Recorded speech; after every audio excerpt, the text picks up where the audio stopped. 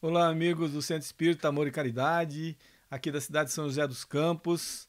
Paz e alegria em todos os corações. É com muita satisfação que estamos aqui nos dirigindo a vocês hoje com mais um evangelho musical que já estava agendado para nós, né? Mas hoje nós estamos fazendo aqui por pelo vídeo que a paz, a energia, a fraternidade, o carinho é da mesma maneira. Né? Temos certeza que vamos entrar aí nos lares de vocês, levando muitas vibrações de paz, harmonia, de concórdia. E o título que nós trouxemos hoje para conversar um pouco com vocês aqui agora, mas só que vai ser como é um monólogo né, desse evangelho musical, é Bem-aventurados os misericordiosos, que penso está bem a propósito para os dias que nós estamos passando hoje, para refletir sobre as nossas vidas mesmo. Né? E o que, que diz logo no começo, o preâmbulo desse evangelho, né, que está aqui no capítulo 10 do Evangelho segundo o Espiritismo, as passagens são do evangelista Mateus, que ele diz assim: Bem-aventurados os misericordiosos, porque eles alcançarão a misericórdia. Se perdoardes as ofensas que vos fazem, vosso Pai Celestial que está nos céus também vos perdoará as vossas ofensas ou os vossos pecados. Mas se não perdoardes as ofensas daqueles que fazem algo contra você, tampouco vosso Pai Celestial vos perdoará os vossos pecados. E mais interessante, é colocado assim: se teu irmão pecar contra ti, corrige-o entre tu e ele somente. Se ele te ouvir, ganhado terás o teu irmão. Então Pedro chega até Jesus e pergunta assim: Mestre, quantas vezes que meu irmão pecar contra mim eu terei que perdoar? Seria até sete vezes? E Jesus responde: Em verdade te digo que não até sete vezes, mas até setenta vezes sete vezes. Então, o perdão ele é infinito. O perdão tem que ser dado sempre. Porque o esquecimento das ofensas é próprio das almas mais elevadas, almas que pairam acima do mal que alguém quer fazer para ele. Olha só que interessante essa colocação né? da espiritualidade superior agora, que o esquecimento das ofensas é próprio de almas que estão mais elevadas. Então, quanto mais eu, eu estou transformado moralmente, quanto mais eu estou elevado espiritualmente, mais eu consigo perdoar.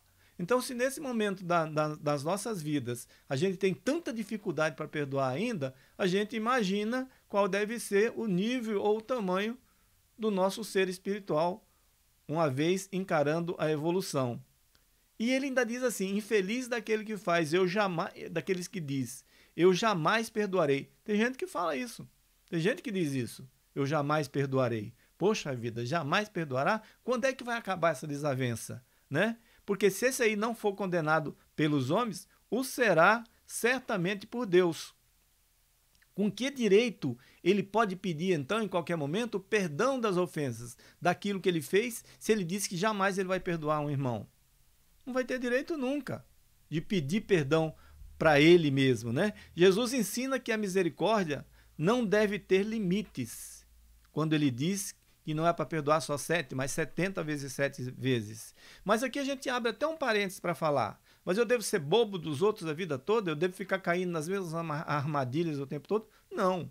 Não é isso que quer dizer. Quer dizer que as ofensas que são feitas contra mim, eu devo perdoar sempre. Mas eu também tenho que me precaver para não cair em um monte de armadilhas. Então, aquela pessoa que está fazendo algo contra mim o tempo todo, caridade, Vai ser na hora que eu brecar e não deixar mais ela fazer. Falou, não, mas eu vou deixar ela fazer a vida toda e vou perdoando todas as vezes. Se você deixar fazer, o certo é perdoar. Mas tem jeito da gente não deixar fazer. Tem jeito da gente evitar. O não também é muito interessante na vida das pessoas e evita males maiores depois. Evita intrigas, evita vinganças, evita muitas coisas. E há duas maneiras de perdoar, segundo está aqui também no Evangelho. Uma delas é, é quando é a pessoa é generosa e ela perdoa sem segundas intenções, mesmo na certeza de quem nos ofendeu foi o outro. Mesmo sabendo, olha, eu não fiz nada de errado para ser é, punido dessa maneira que eu estou sendo punido. Eu não fiz nada de errado. Então, vamos perdoar. Mesmo sabendo que eu não tenho culpa nenhuma, perdoar. Essa é a primeira maneira, é a maneira correta de perdoar. Não interessa quem fez mal contra mim. Eu vou perdoar. Eu não tive culpa, mas eu vou perdoar. E a outra é aquela que você impõe. Que você impõe, que você é orgulhoso, que você é egoísta, que você diz que perdoa, mas a gente está querendo é ter ostentação, está querendo aparecer, está querendo colocar a pessoa que vai pedir perdão para a gente em público, para ela pedir perdão, para todo mundo ficar sabendo o quanto eu sou bom quando eu perdoo. Olha que tristeza. Isso não é perdão, isso é ostentação. Isso é querer se mostrar, é querer dizer que é bom. Isso não serve nada para o alto. Isso não serve nada para Deus. Isso serve só para massagear um ego orgulhoso, um ego egoísta e egocentrista. Isso serve. Então nós temos que agradecer ao Mestre Jesus sempre por todas essas oportunidades que nos dá, por todos esses ensinamentos, pela oportunidade de sermos misericordiosos sempre. E para ilustrar essa passagem aqui, nós vamos cantar uma música agradecendo e pedindo, que é uma música nossa, que está gravada no CD do Grupo Castelã, que a gente oferece ela a todos vocês, lembrando de agradecer a Jesus.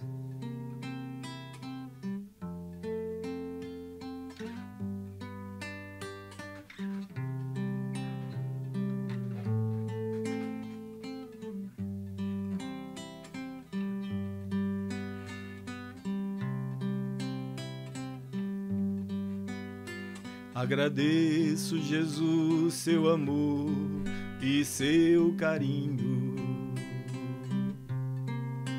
É você que me ensina a verdade e o melhor caminho. Eu te peço, Jesus, me dê forças para a vida enfrentar e coragem para aceitar aquilo que eu não posso mudar. Agradeço ao Pai por me dar o dom de viver. Por saber que sou um ser eterno e jamais vou morrer e as idas e vindas da alma propiciam evolução. Que o homem só se regenera pela educação. Agradeço pelo meu sorriso, pelo meu cantar mas te peço poder ser sensível, ser capaz de chorar. Acredito na fé, na esperança e que a caridade é amar. Mas preciso ser um ser capaz de poder perdoar. Que eu possa, Senhor, dar valor à dignidade. Que eu possa lutar com coragem e honestidade. Quero ter bons irmãos, bons amigos e sem distinção amar pois eu sei que a colheita é a resposta do que eu plantar. Quero ter bons irmãos, bons amigos e sem distinção amar, pois eu sei que a colheita é a resposta do que eu plantar.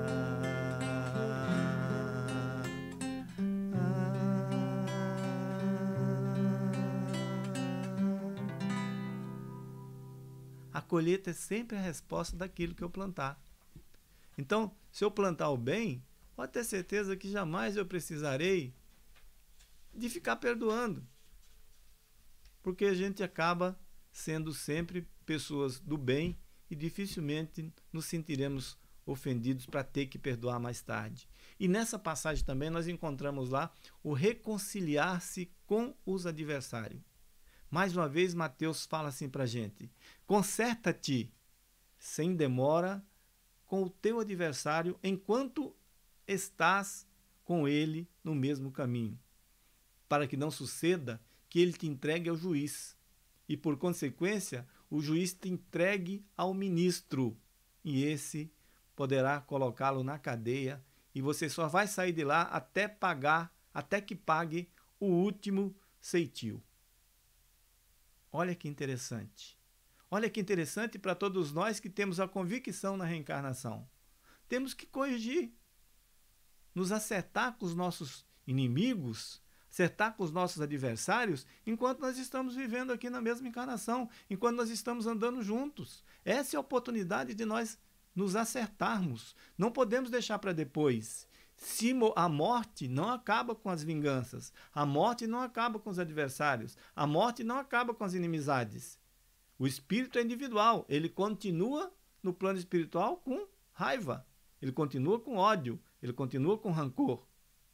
Não existe aquela frase de o cão morto acaba a raiva, não. O cão morto continua com raiva. O homem morto continua com raiva. Então nós temos que nos acertar aqui. Quantos casos de obsessão nós acompanhamos nos nossos centros espíritas, nas nossas câmaras de desobsessão, de inimigos que estão à busca de um encarnado porque descobriram que era inimigo? Às vezes aquele ali já reencarnou mais de uma vez e ele não quer cessar a perseguição por causa da vingança. Tudo isso porque não nos acertamos enquanto a gente estava andando no mesmo caminho. Então nós temos que nos conscientizar que tem que acabar com as nossas diferenças enquanto nós estamos vivos, vivos aqui, encarnados. É isso que quer dizer. Pois a morte ela não acaba com nossas diferenças. E a maioria dos casos de obsessão são resultantes de intrigas em encarnações passadas. É só analisar quem trabalha em centro espírita em câmara de obsessão. Quase todas as inimizades, 99% das inimizades, dos obsessores que chegam ali, quando são por inimizades, né? Porque tem obsessor também, que é obsessor que é próximo a gente e está ali perto achando que está ajudando e às vezes está atrapalhando. Existem esses casos também. Mas a maioria é tudo por querer se vingar de alguma maneira com algo que ficou lá para trás. Então fica claro que Jesus nos aconselha que se nós quisermos ter uma vida futura tranquila, em todos os sentidos, vida futura tranquila no plano espiritual e vida futura tranquila em outra encarnação que a gente vier temos que nos reconciliar com os nossos adversários. Agora, por que vamos ficar tristes por isso? Temos adversários? É tempo. É tempo de nós nos corrigirmos. É tempo para tudo de bom nas nossas vidas. Tudo que for de bom que a gente praticar, ainda há tempo. Porque a gente não sabe quantos milênios, quantos séculos nós estamos reencarnando e reencarnando, reencarnando e reencarnando. E precisamos melhorar, precisamos prestar atenção no que Jesus passa para gente, no que a espiritualidade passa para gente. Então, poxa vida, o tempo está passando, já estamos em transição. Continuamos ainda com dificuldades? Vamos tentar melhorar, vamos mudar, ainda é tempo.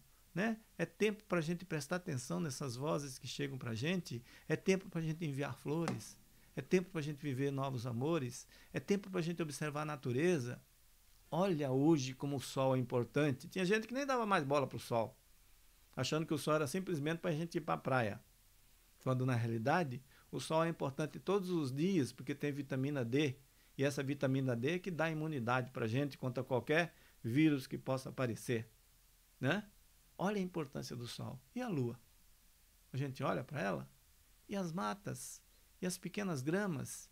E as flores, que às vezes sai para fazer caminhada, nem presta atenção que na caminhada que nós fizemos tinha umas flores nascendo ali. Então, não vamos deixar isso para lá. Vamos aproveitar que dá tempo para a gente mudar para melhor. É tempo para a gente esquecer rancores. É tempo para a gente ganhar novos valores nas nossas vidas. A humanidade será outra.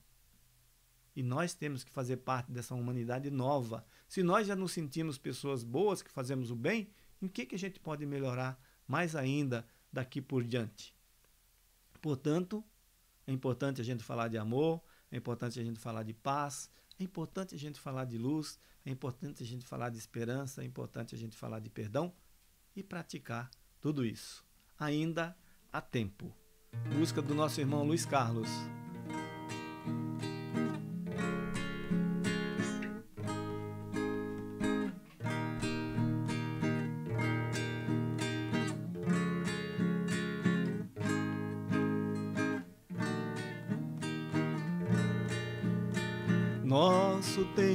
Nessa casa já está passando. Por tantos séculos, milênios, vimos caminhando.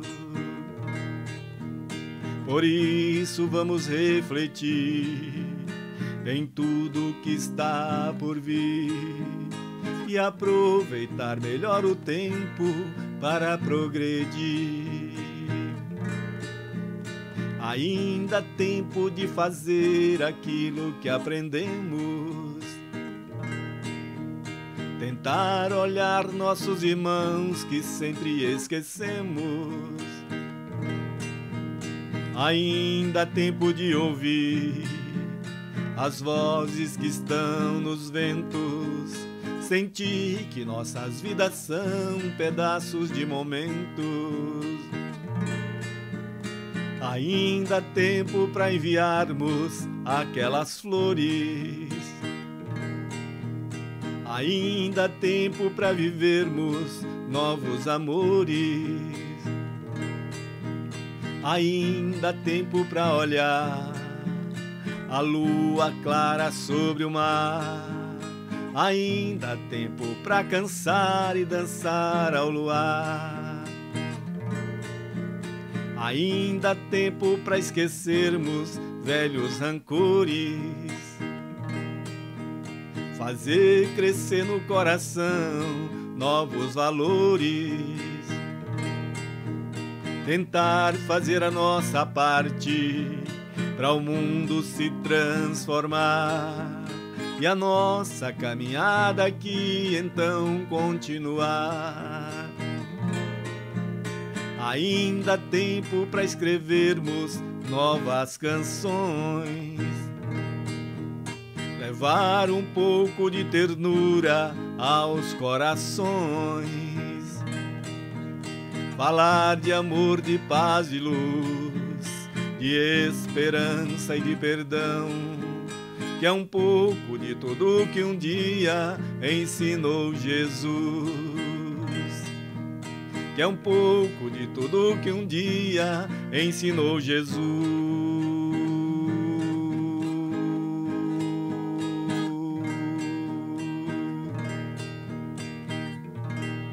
É um pouco de tudo que um dia ensinou Jesus. Viram que interessante ter nessa música?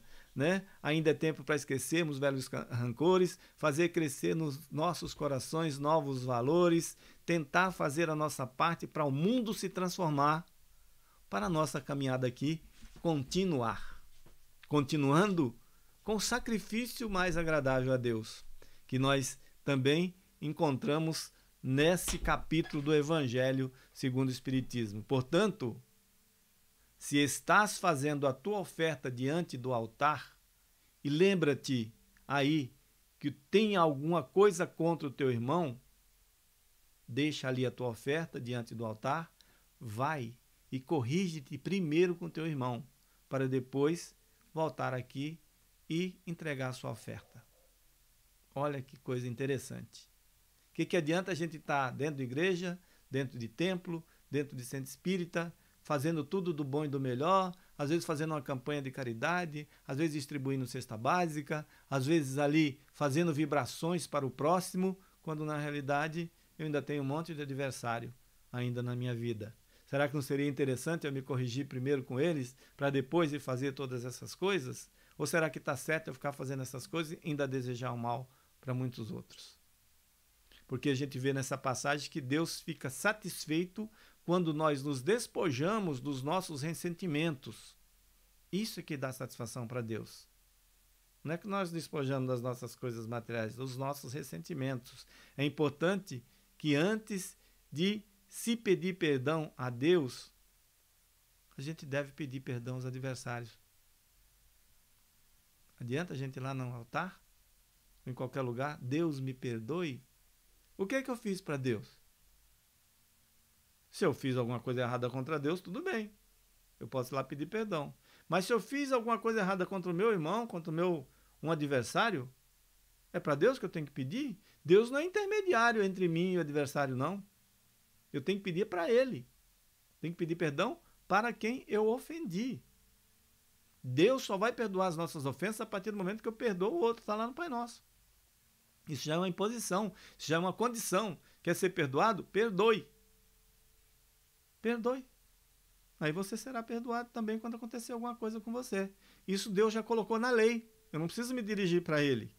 Está na lei. A lei é eu perdoar o próximo primeiro. Então, quando nós entrarmos no templo do Senhor, nós devemos deixar fora os nossos o sentimento de ódio, de animosidade, de pensamentos contra os nossos irmãos. Se hoje não é esmola que eu levo nos pés de Deus oferecendo em holocausto, eu tenho que chegar desse jeito.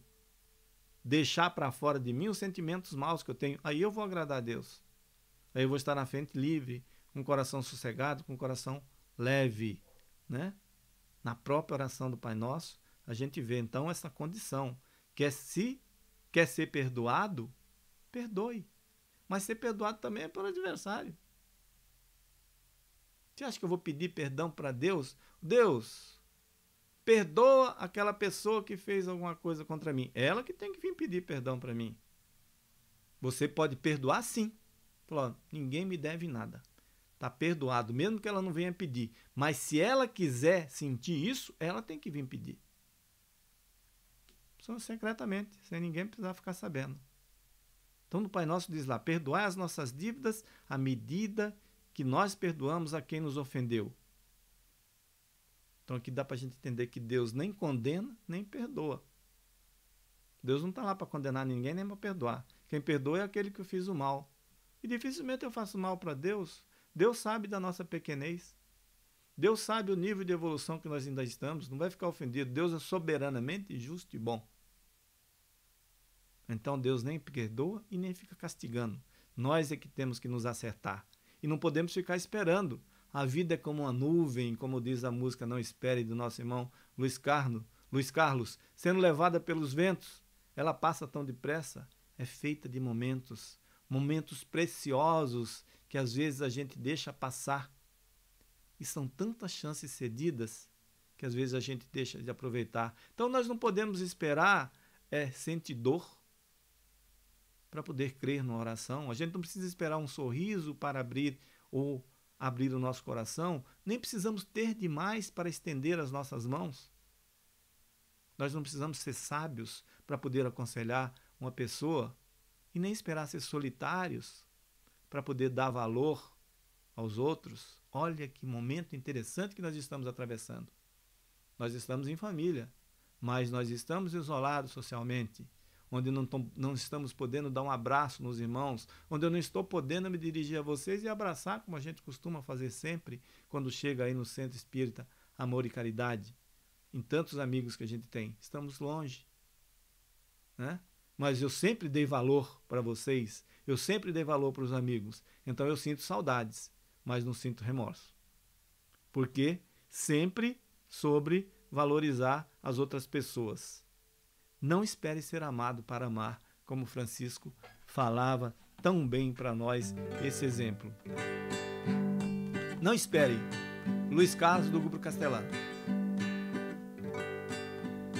A vida é como uma nuvem sendo levada pelos ventos. Ela passa tão depressa e é feita de momentos momentos tão preciosos que a gente deixa passar. São tantas chances cedidas que deixamos de aproveitar. Não espere sentir dor para crer na oração. Não espere um sorriso para abrir teu coração. Não espere ter demais para estender as mãos. Nossas vidas vão passando sob nosso olhar perdido. Quanto mais tarde acordarmos, mais caminhos repetidos. São caminhos tortuosos que a gente deixa passar. Para um dia então distantes alcançarmos o alvorecer. Não espere ser um sábio para poder aconselhar. Não espere a solidão para os outros valorizar. Não espere ser amado para amar. Não espere ser um sábio para poder aconselhar. Não espere a solidão para os outros valorizar. Não espere ser amado para amar.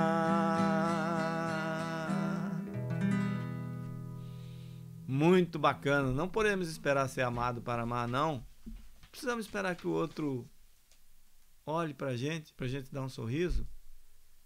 Não precisamos que a gente fique solitário para poder dar valor para todos aqueles amigos que temos. E também não julgar é importante demais, ser indulgente, como o argueiro e a trave no olho, que é outra passagem que nós temos aqui.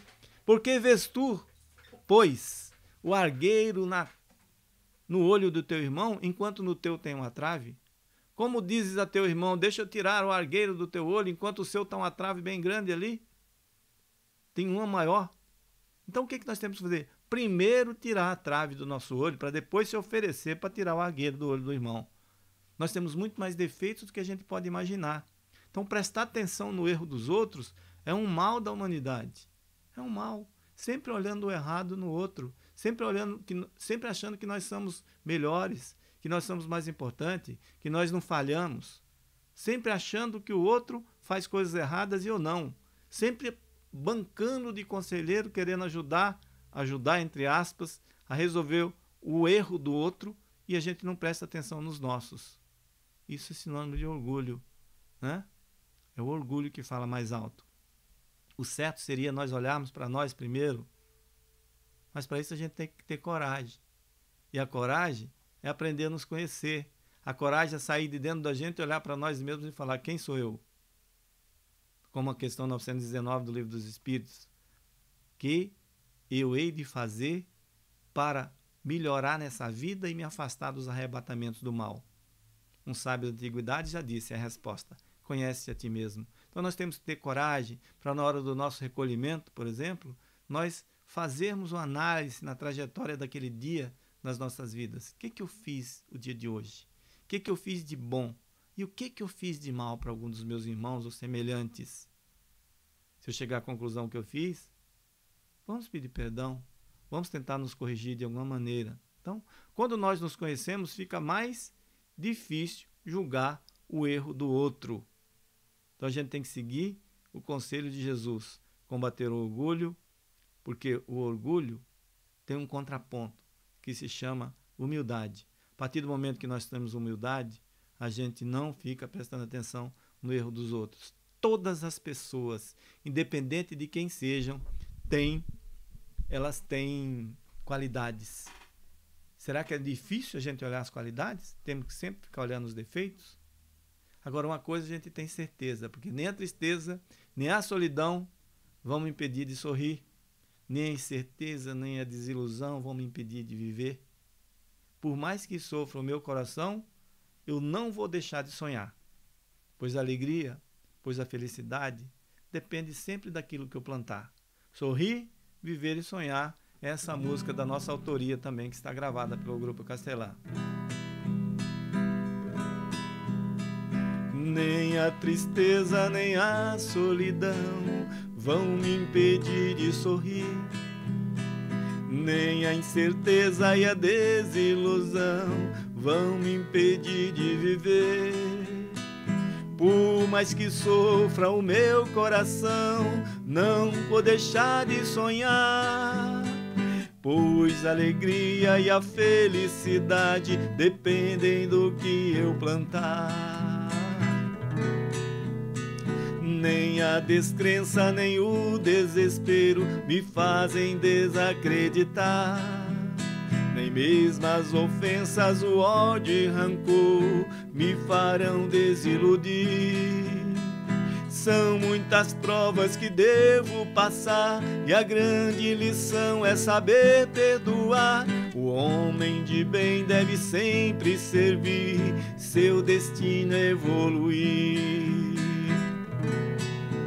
Ser sempre otimista e se equilibrar, fortalecer a esperança, viver com alegria e cumprir a missão, manter sempre a confiança.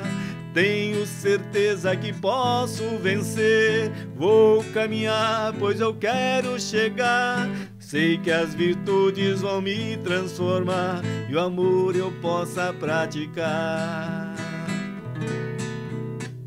nem a tristeza, nem a solidão vão me impedir de sorrir. Nem a incerteza e a desilusão vão me impedir de viver. O mais que sofra o meu coração, não vou deixar de sonhar.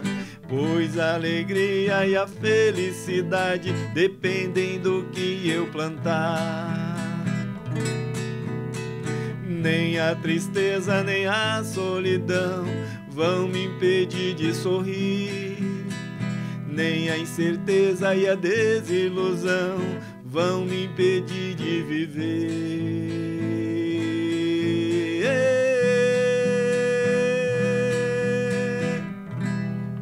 Esses dias nós temos que viver com bastante otimismo, não deixar tristeza, não deixar solidão, não deixar no, nada nos impedir de sorrir. Né? É o que eu planto é que faz eu ser feliz. E continuamos aqui. Não julgar para não ser julgados. Aquele que estiver sem pecado, atira a primeira pedra. Todo mundo lembra disso? Todo mundo lembra dessa passagem de Jesus. Não julgueis, pois, para não seres julgados, porque com o juízo que julgardes, os outros sereis julgados. E com a medida que medirdes, vós medirão também, vos medirão também. Continuamos com o Evangelho de São Mateus. E foi quando foi colocada aquela mulher dita que era adúltera em frente a Jesus. Lembra? Lembro da passagem escrita, mas a gente pode até lembrar da passagem, às vezes a gente estava lá, a gente nem sabe, né? Porque a gente vive julgando, nós já temos experiência para isso. E olha só, aqueles homens chegaram ali para tentar Jesus, dizendo que a lei de Moisés a, dizia que tinha que apedrejar, tinha que lapidar pessoas que fosse, fossem pegas em adultério. Pena que naquele momento só pegaram a mulher. A pessoa que estava adulterando não pegaram o homem, né? Porque era para os dois, mas só acharam a moça. E ela estava ali, cabisbaixo, vendo o fim dela próximo. E eles, para tentar Jesus, perguntam o que, que ele deveria fazer. E a gente pensa, poxa vida, o que, que eu responderia? E o que que Jesus responderia se a gente já não soubesse o desfecho da história? Porque se Jesus fala assim, não, vocês não podem apedrejar ela, que isso? Eles vão falar, então você está contra a lei, você vai ter que ser preso. E se ele dissesse, pode lapidar ela, a lei está mandando, eles vão falar, e cadê sua generosidade?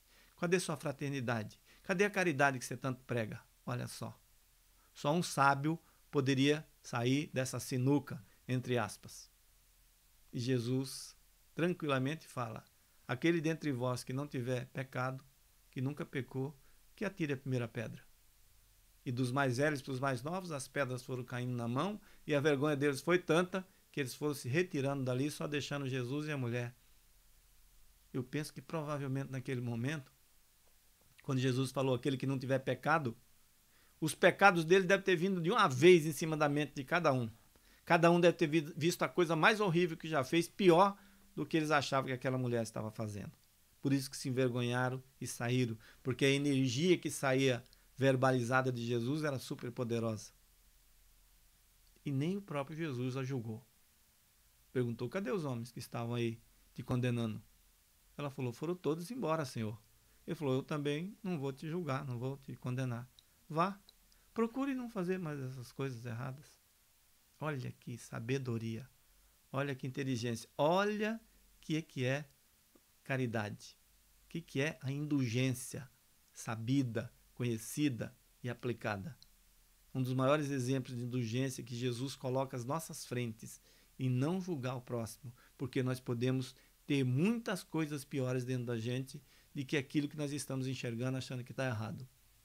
E olha só, até o próprio Jesus não julgou, porque ele tinha capacidade moral suficiente, ou evolução moral suficiente para poder dar uma lição de moral nela ali naquele momento, mas ele não fez isso.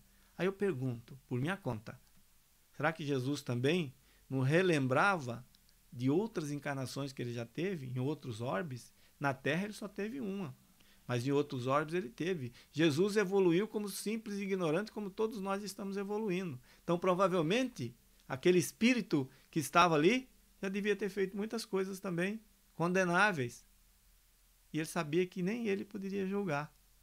Isso é eu que estou dizendo, é o que eu penso que eu acho bastante lógico, porque Jesus cada dia se torna muito maior nos nossos conceitos. E para encerrar, pessoal, foi muito bacana passar esse tempinho aqui com vocês. A gente quer encerrar com uma homenagem ao próprio Evangelho, ao próprio Jesus, cantando a música Evangelho de Luz do nosso irmão Roberto Ferreira para vocês. Né?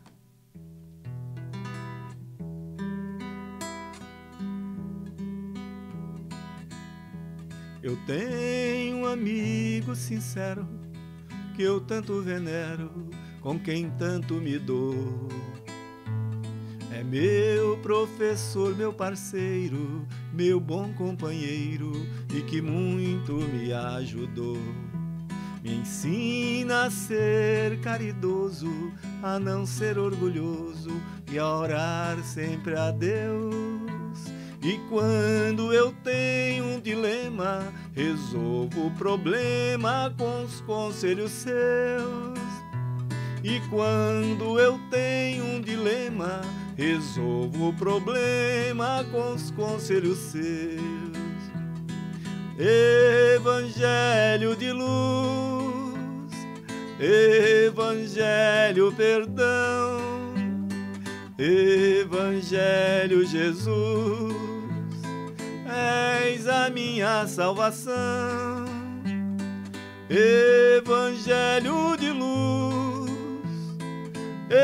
Evangelho perdão, Evangelho Jesus, és a minha salvação. Quando a angústia revolta, eu não acho a porta e não vejo a solução. É Ele, o amigo adorado, que está sempre ao meu lado e me traz a consolação. Se choro, preciso socorro, a Ele recorro e por feliz me dou. Ele é o Evangelho novo, é a mensagem que ao povo Cristo deixou. Ele é o Evangelho novo, é a mensagem que ao povo o Cristo deixou. Evangelho de luz, Evangelho perdão, Evangelho Jesus, és a minha salvação. Evangelho de luz Evangelho perdão, Evangelho Jesus, és a minha salvação.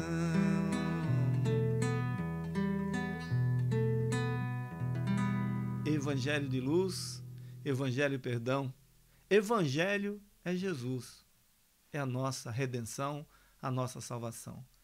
Queridos irmãos do Centro Espírito Amor e Caridade, paz e alegria em todos os corações.